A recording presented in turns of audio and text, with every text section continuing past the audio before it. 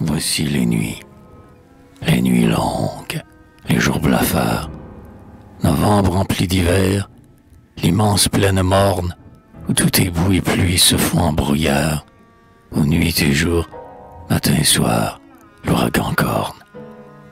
Villages et hameaux gênent au vent du nord, l'humidité flétrit les murs de plaques vertes, la neige tombe épaisse et lourdement endort, les champs noirs groupant entre eux leurs dos inertes.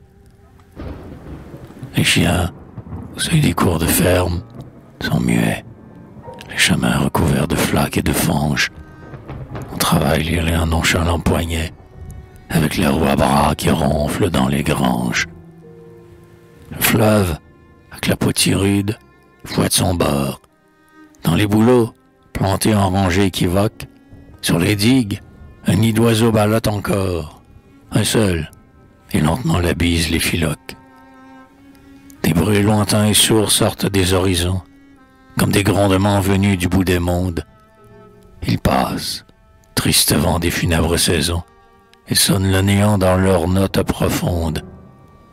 La terre geint et crie à les subir, les bois ont des plaintes d'enfants, des râles et des rages, se sentir pliés, domptés sous leur poids, dans un cassement sec et brutal de branchage.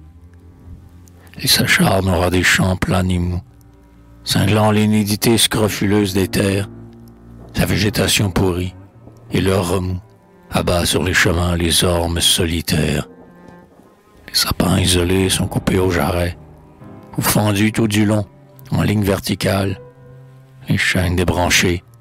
Il faut une forêt pour résister au choc hurleur de la rafale. Et dans la plaine vide, on ne rencontre plus que sur les chemins noirs de poussifs attelages que des voleurs le soir, le matin, des perclus, se traînant mendier de hameau en village, que de maigres troupeaux rentrant par bataillon sous les soufflets du vent avec des voix bêlantes, que d'énormes corbeaux planants aux ailes lentes qu'ils agitent dans l'air ainsi que des haillons